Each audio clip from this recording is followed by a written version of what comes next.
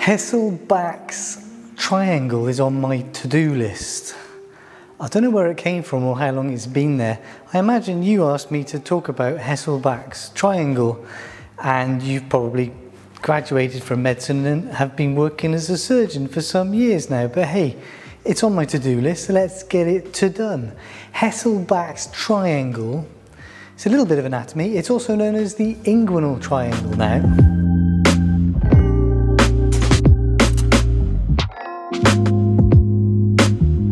Hesselbach's triangle is a region of the anterior abdominal wall, low down. As I said, it's also called the inguinal triangle, which hopefully gives you a clue as to where it is. Uh, Frank Hesselbach was a German surgeon and anatomist um, who described this a couple of hundred years ago. He spent a lot of time looking at inguinal and femoral hernias. Right, let us, let's get ourselves an anterior abdominal wall. Hesselbach's triangle is here and also here.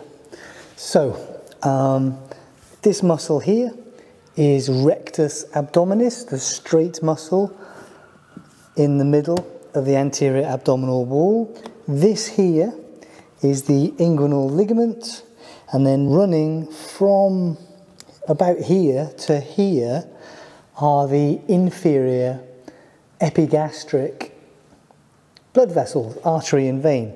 Um, and those, so the, the boundaries of the triangle are the lateral edge of the rectus sheath or the lateral edge of the rectus abdominis muscle. Um, that's the medial border.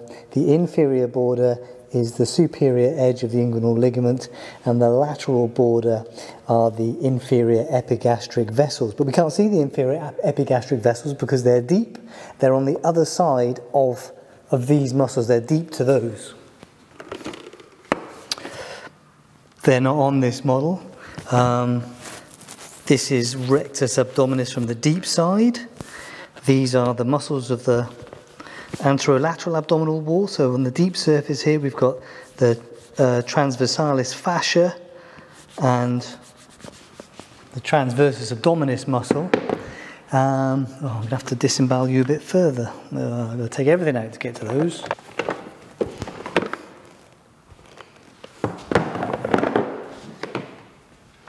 Okay, uh, what we're seeing here, uh, we're seeing the aorta become the common iliac artery and the common iliac vein is with it.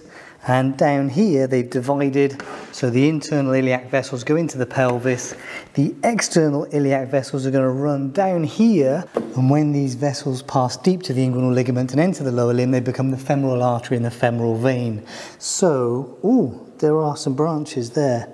Um, there are a couple of tiny little nubbins there, branches here. So just before the external iliac artery and vein pass deep to the inguinal ligament, they give off these inferior epigastric vessels and they will run that away. So if they're running that away and I put the anterior abdominal wall on and then we turn this around, what I'm trying to what I'm trying to demonstrate is that the inferior epigastric vessels are going to run obliquely. So from the external iliac vessels, they're going to run to rectus abdominis. So do you get a sense of that triangle now? So those inferior epigastric vessels then are going to run from the external iliac vessels and they're going to run obliquely like this. The inguinal ligament, by the way, is this ligament here, so it's running from the anterior superior iliac spine at the anterior edge of the iliac crest. It's running from there to the pubic tubercle, the pubis bone here. So that's the inguinal ligament. The inguinal ligament acts as kind of an anchoring point for some of the abdominal wall muscles. It attaches them to bone, and it's also kind of like a, a, a, a, a link or a separation between the abdominopelvic cavity and the lower limb, which is hanging off here. Now, this is the inguinal ligament. The inguinal canal is what makes Hesselbach's triangle, or the inguinal triangle, useful. The blood vessels and nerves that supply and drain the testes within the scrotum need to pass from the abdominopelvic cavity through the abdominal wall to get to the scrotum. And they do that by passing through the inguinal canal. So the inguinal ligament is here, the inguinal canal is superior to this. The inguinal canal is kind of formed by some of the abdominal muscles curling around and what have you.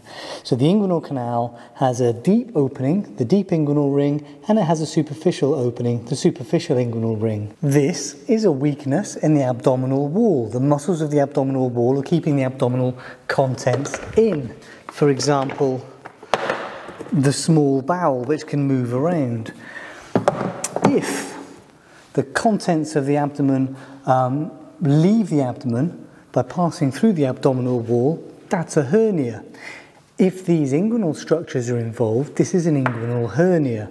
And we, we can talk about small bowel passing through the abdominal wall here.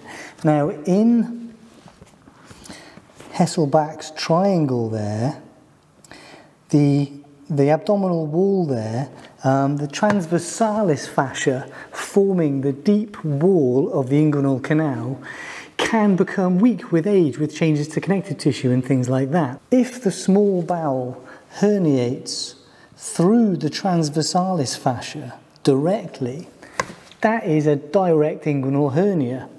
That weakness is within Hesselbach's triangle or within the inguinal triangle.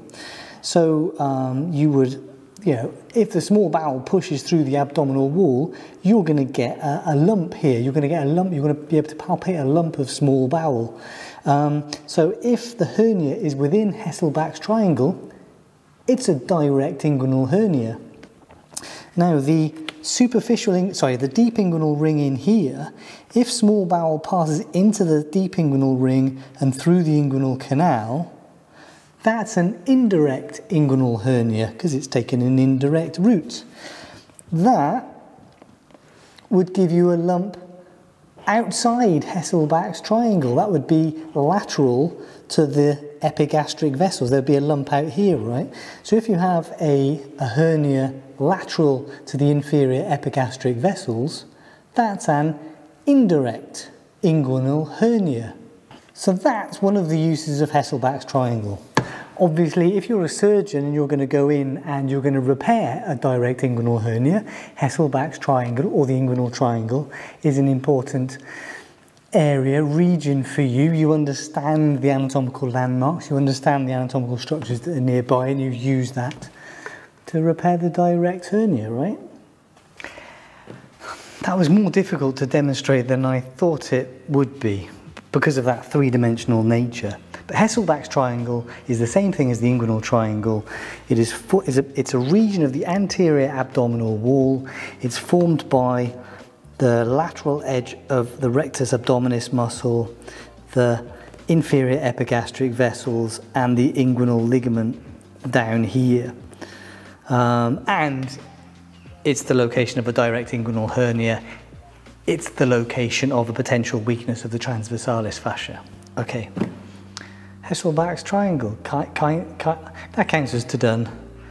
Kind of done. There we go. Ticked. All right. See you next week.